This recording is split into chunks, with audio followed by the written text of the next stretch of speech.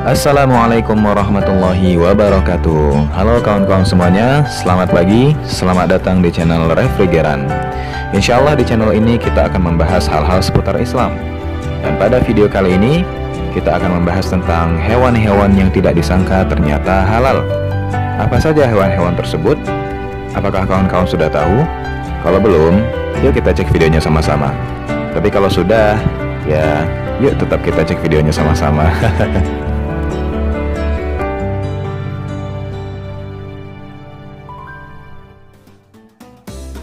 Dob merupakan spesies reptil yang tersebar hanya di Afrika Utara dan Timur Tengah, tepatnya Mesir, Libya, dan Jazirah Arab, sehingga hewan ini tergolong spesies endemik.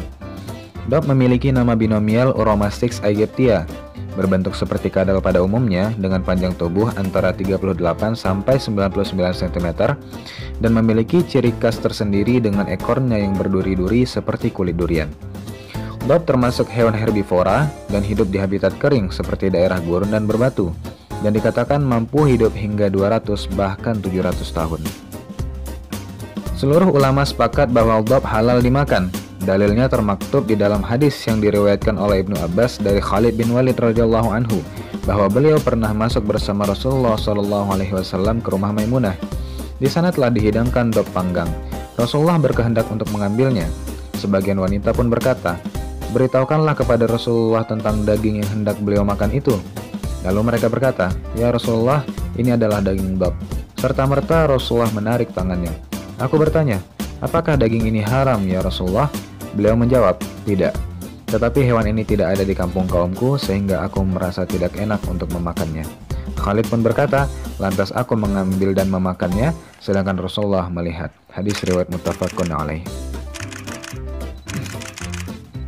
Demikian pula dalam hadis lain Rasulullah Shallallahu Alaihi Wasallam bersabda, "Dab, saya tidak memakannya dan saya juga tidak mengharamkannya." Mutafakun alaih. Hadis di atas dengan jelas menyatakan kehalalan hewan dab, sehingga tidak ada keraguan lagi akan hal tersebut. Namun yang menjadi masalah adalah banyak yang menyamakan dab dengan biawak, sehingga muncul anggapan biawak juga halal dimakan sebagaimana dab. Padahal dab berbeda dengan biawak. Jika ditinjau dalam kamus, akan didapati bahwa bahasa Arabnya biawak adalah warol, bukanlah dob. Sepintas dob dan biawak dinilai memang mirip sebagai sesama bangsa reptil, namun memiliki sifat dan karakteristik yang jauh berbeda. Oleh karena itu, para ulama baik dari kalangan mutaqaddimin maupun mutaakhirin menghukumi bahwa dob adalah halal sedangkan biawak adalah haram. Sekalipun begitu, saat ini keberadaan dob di alam liar semakin langka ditemukan. Hal ini tidak lepas dari alasan seringnya dob diburu dan menipisnya wilayah habitat, disebabkan semakin maraknya pembangunan oleh manusia.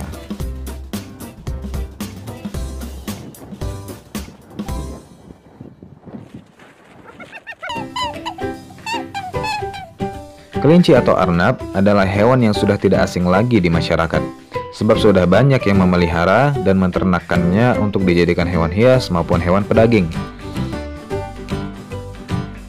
Dari Anas bin Malik radhiyallahu anhu beliau menceritakan, kami pernah berusaha menangkap kelinci di lembah Marul Zohran. Orang-orang berusaha menangkapnya hingga mereka kelelahan. Kemudian aku berhasil menangkapnya, lalu aku berikan kepada Abu Talha. Dia pun menyembelihnya Kemudian daging paha diberikan kepada Nabi Shallallahu Alaihi Wasallam dan beliau menerimanya. Hadis riwayat Bukhari, Muslim, dan Tirmidzi. Mutafakun alaih. Kemudian dalam hadis lain dari Muhammad bin Safwan radhiyallahu anhu beliau mengatakan, saya menangkap dua kelinci, namun saya tidak mendapatkan alat untuk menyembelihnya, hingga saya bisa menyembelihnya di Marwah. Kemudian aku tanyakan hal itu kepada Nabi Shallallahu Alaihi Wasallam dan beliau menyuruhku untuk memakannya. Hadis riwayat Nasai, Abu Dawud, Ibnu Majah dan disahihkan oleh Al Albani. Al. Dalam Al Mukni, Ibnu Qodamah mengatakan, kami tidak mengetahui ada seorang pun ulama yang berpendapat haramnya kelinci kecuali satu riwayat dari Amr bin Al-As. Dalam kitab Hayat Al-Hayawan disebutkan, halal mengkonsumsi kelinci menurut seluruh ulama kecuali pendapat yang diceritakan dari Abdullah bin Amr bin Al-As dan Ibnu Abi Laila bahwa beliau berdua tidak senang mengkonsumsi kelinci. Namun setelah ditinjau, pandangan yang disebutkan di atas bersifat bahasa hikayah atau cerita pengalaman, sehingga kekuatannya dinilai lemah. Di antara ulama yang melarang kelinci, alasannya bukan masalah halal haram, tapi terkait masalah kesehatan.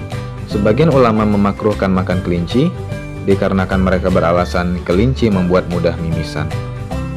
Sebagian muslim menilai daging kelinci haram dikonsumsi. Alasannya, kelinci diyakini memiliki darah mirip darah wanita yang dikeluarkan saat menstruasi, maka dagingnya haram. Selain itu, kelinci juga dianggap haram karena memiliki cakar seperti kucing dan hewan-hewan buas. Namun terlepas dari itu semua, sesungguhnya pendapat yang menghalalkan kelinci adalah lebih rajih sebab adanya dalil yang sahih dan ditambah lagi dengan fakta bahwasanya mayoritas atau jumhur ulama menghalalkannya. Termasuk salah satunya Imam An-Nawawi dalam kitab Al-Majmu' yang memperkuat sebab halalnya kelinci dikarenakan kelinci termasuk hewan yang baik untuk dikonsumsi menurut pandangan orang Arab. Hal ini berdasarkan firman Allah dan yang menghalalkan segala yang baik bagi mereka. Quran Surat Al-A'raf ayat 157 Di Nusantara sendiri, bahkan Majelis Ulama Indonesia atau MUI telah mengeluarkan fatwa akan halalnya hewan yang bertabiat baik dan lucu ini. Lewat sidang di Jakarta pada 12 Maret 1983, Komisi Fatwa MUI menetapkan hukum memakan daging kelinci adalah halal. Keputusan ini didasarkan pada hadis sahih riwayat Anas bin Malik radhiyallahu anhu yang telah disebutkan sebelumnya. Daging kelinci pun lebih rendah lemak dibanding daging sapi dan ayam. Dagingnya juga disebut-sebut rendah kolesterol dan tinggi akan protein. Namun, kandungan asam lemak esensialnya tidak begitu banyak. Rasanya disebut-sebut mirip daging ayam yang cocok dipadukan dengan bumbu apa saja. Kuda adalah hewan mamalia yang sangat kental dengan peradaban manusia sebab telah memegang peranan penting dalam bidang transportasi orang dan barang selama ribuan tahun. Hewan herbivora ini biasanya ditunggangi dengan menggunakan pelana. Selain sebagai tunggangan, kuda juga biasa digunakan sebagai hewan penarik.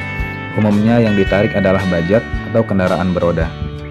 Hewan yang usianya dapat mencapai 25-30 tahun ini telah memainkan peran yang luas dalam kebudayaan manusia. Sebelum ditemukannya sepeda dan prinsip mekanik, Kuda menduduki posisi sebagai alat transportasi utama dalam berbagai medan. Kecepatannya dapat mencapai 88 km per jam. Lebih-lebih dalam pertempuran, kuda merupakan alat perang andalan yang keikutsertaannya menjadi elemen penting yang tidak bisa diabaikan. Bagaimana tidak, hewan ini memiliki tubuh yang kekar dan tegap dengan bobot mencapai 380 kg hingga 1 ton. Oleh karena itulah dalam berbagai kebudayaan, Kuda dianggap sebagai simbol kebebasan, kecerdasan, dan kekuatan. Dari Jabir bin Abdullah radhiyallahu anhu, beliau mengatakan, pada penaklukan Khaybar, Rasulullah Shallallahu alaihi wasallam melarang makan daging keledai jinak dan beliau membolehkan makan daging kuda. Hadis riwayat Bukhari dan Muslim muttafaqun alaih. Dari Asma binti Abu Bakar radhiyallahu anhu, beliau berkata, kami pernah menyembelih kuda di masa Nabi Shallallahu Alaihi Wasallam dan kami memakannya. Mutafakun alaih. Dari Jabir bin Abdullah radhiyallahu anhu beliau menceritakan, kami pernah bersafar bersama Nabi Shallallahu Alaihi Wasallam dan kami makan daging kuda dan minum susunya. Hadis riwayat Ad-Daruqutni Al-Baihaqi An-Nawawi mengatakan sanatnya sahih.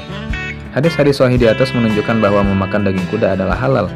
Ini adalah pendapat jumhur ulama, di antaranya dari mazhab Syafi'i Hambali serta pendapat yang kuat dari mazhab Maliki. Sedangkan menurut mazhab Hanafi, daging kuda makruh untuk dimakan. Alasannya karena mengkonsumsi kuda menyalahi fungsinya sebagai hewan tunggangan dan hiasan, sebagaimana yang disebutkan dalam surat An-Nahl ayat 8. Dia menciptakan kuda, bigol, dan keledai agar bisa kalian tunggangi dan sebagai hiasan. Dia juga menciptakan makhluk yang tidak kalian ketahui. Di ayat ke-8 ini, Allah tidak menyebutkan fungsi mereka untuk dimakan, Sebagian kalangan ada pula yang menilai kuda haram dimakan.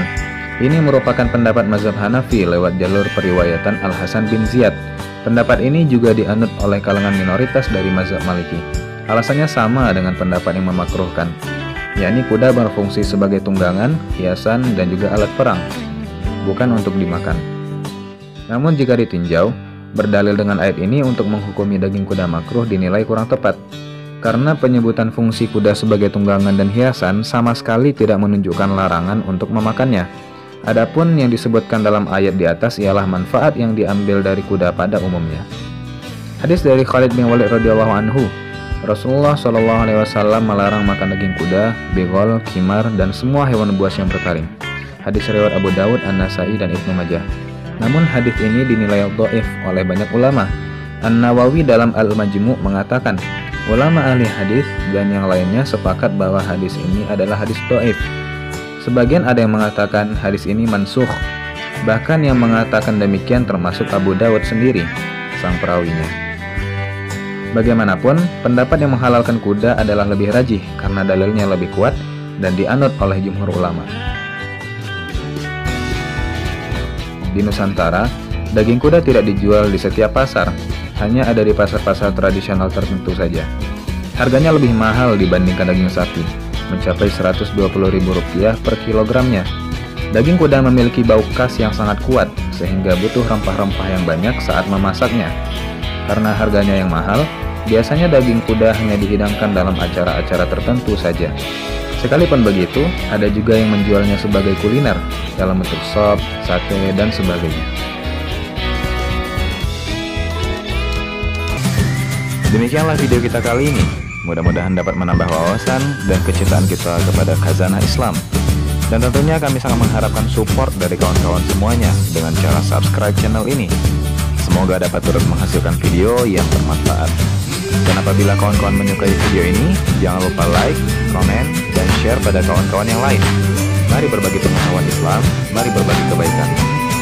Wabillahi taufiq wal hidayah, wallahu a'lam bishawab. Wassalamualaikum warahmatullahi wabarakatuh.